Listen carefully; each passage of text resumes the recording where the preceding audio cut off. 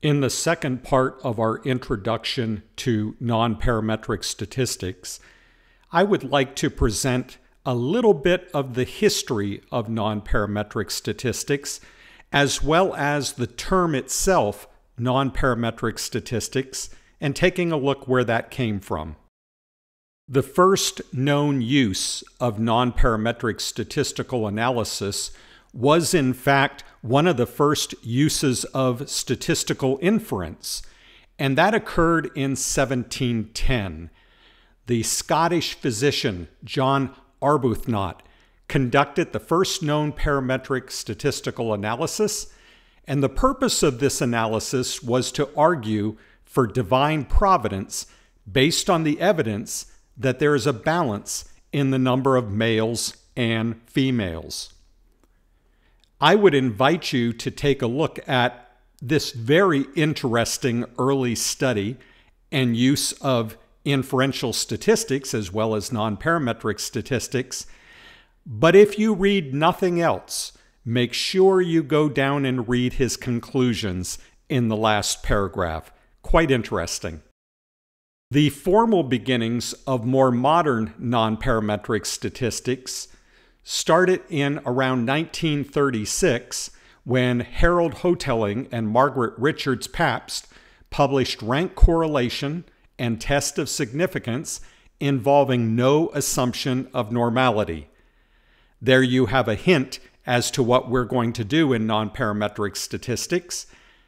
We're going to have no assumption of normality, which is different than we often see in many of the parametric statistics. In 1945, Frank Wilcoxon published Individual Comparisons by Ranking Methods. We are actually going to learn about this early method because it is still used as a very common non-parametric statistical method. So when you learn about the Wilcoxon test, you can keep in mind that this actually stems back to an article, Individual Comparisons by Ranking Methods, dating back to 1945. Obviously, much has been done since then to study the method and improve upon it, but this was the beginning of a method that we still use today. What about the term nonparametric? The first time it was used was in 1942 when Jacob Wolfowitz first coined the term nonparametric and did so in this article Additive Partition Functions and a Class of Statistical Hypotheses. Specifically, note this paragraph.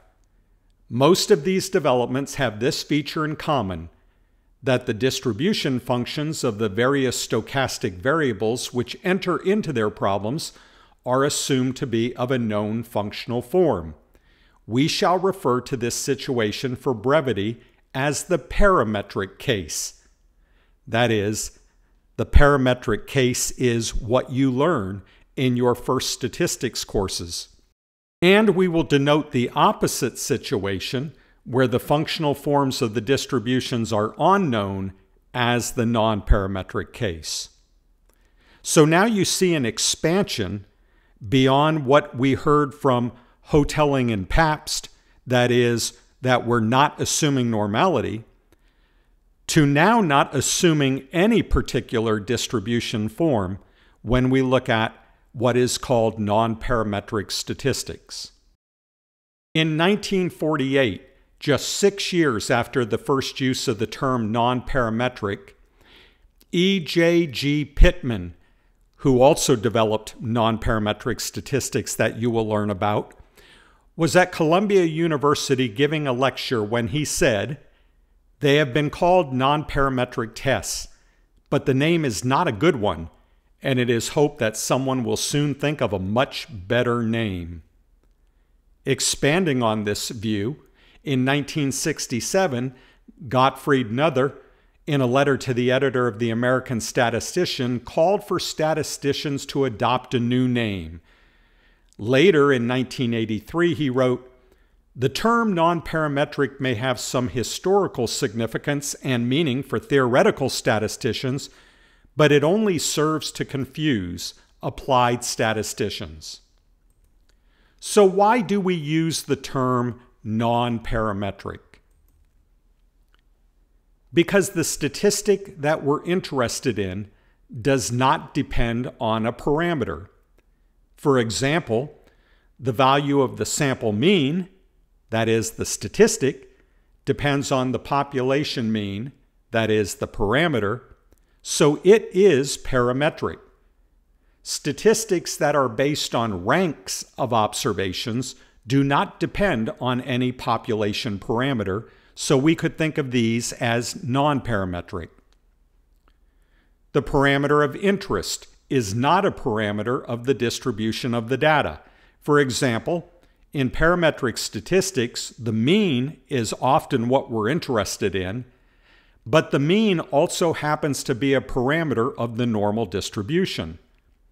In non-parametric statistics, when the mean is of interest, the distribution we study is not based on the normal distribution, so the mean is not a parameter of the distribution of the statistic that we are studying. And a third reason why we refer to it as non parametric is that the models we build are not based on specified parameters, but rather are determined from the sample data that we can observe. For example, a histogram is a non parametric estimate of a probability distribution. Well, this sounds good, so why is there concern about the term non parametric statistics? Why not non parametric?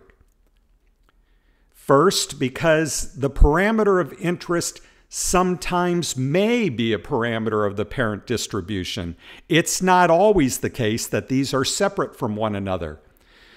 Non parametric methods that are used to study the population proportion pi use the binomial distribution and as you will see, pi is a parameter of that distribution. So that distinction of a parameter of interest being divorced from the parent distribution might hold most of the time, but not all of the time.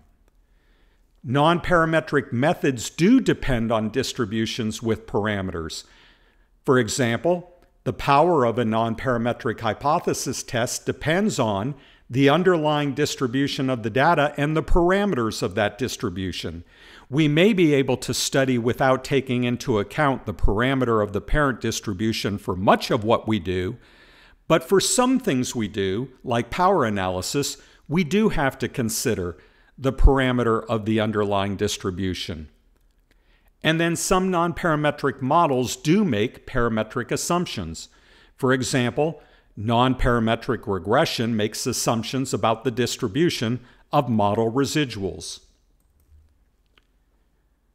There are some aliases that we can use when talking about non-parametric methods that may be more suitable than the term non-parametric statistics. For example, distribution-free methods. This is a better title because these methods do not rely on specifying the form or parameters of the distribution in order to make inferences, but it's not perfect. The title is imperfect because estimates and some inferences do depend on the underlying distribution. So it's not always the case we are dealing with distribution free methods. Here's a better one. I like this one assumption reduced methods.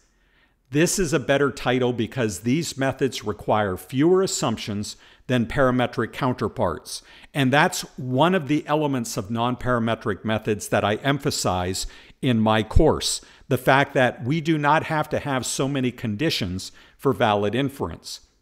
Now, the title is imperfect because it assumes we can always make a comparison between parametric and non parametric because if you're talking about assumption reduced, something has to be reduced.